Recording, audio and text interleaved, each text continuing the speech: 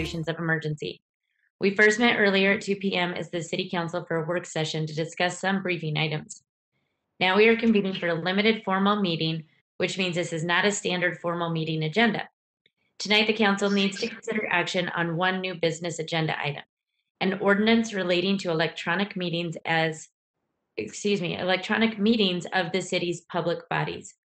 Therefore, since this is the only item scheduled for council action tonight, there is no other council business, including no public comment opportunity this evening.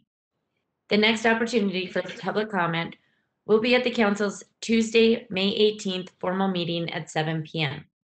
As always, the council welcomes your comments and you can give us those comments by mailing us at PO Box 145476, Salt Lake City, Utah 84114, emailing us at council.comments at slcgov.com, or by calling our 24-hour comment line 801-535-7654.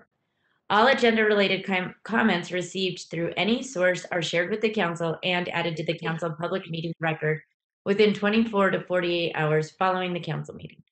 For instructions to guide you on how to participate electronically to any of our WebEx me- meetings, please visit slccouncil.com or call 801-535-7600. With that, we are moving to section E of our agenda. It's our only scheduled item under new business regarding um, an ordinance that would repeal chapter 2.86 and amend section 2.06.030.e of the Salt Lake City Code relating to electronic meetings of the city's public bodies. I will look for a motion. Madam Chair, Yes, sir. I move that the council adopt an ordinance repealing chapter two point eight six and amending section two point zero six point zero three zero point E of the Salt Lake City Code relating to electronic meetings of the city's public bodies. Second, I have a motion by Councilmember Mano and a second by Councilmember Dugan. I will go ahead and roll this, roll call this.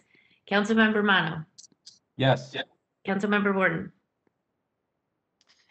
Yes, but Madam Chair, I'd like a moment of personal privilege at the end. Thank you. okay. Um, Councilmember Dugan, yes, and I am a yes, and we have one vacant seat and two council members meeting, so that passes by a quorum.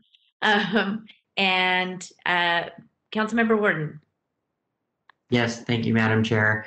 I just, uh, even though I'm supporting this, I really hope that we can get back to uh, in-person meetings soon. Um, and I hope that after we do, that this is one of those ordinances that we'll never really even have to look at again. Um, and I, because I think there's so much value into meeting in meeting in person and having the public being able to meet with the public in person. So I, I'm voting for this, but I really hope that it's something that we only need for a short amount of time and then we won't need again. Thank you. Thank you, Councilmember Wharton. And um, for my own moment of personal privilege, I wholeheartedly agree. And I hope to see you all in person again so that I can just give you lots of hugs. Okay. With that, everybody, this concludes our limited formal city council meeting and our meeting stands adjourned. Thank you all for being here tonight.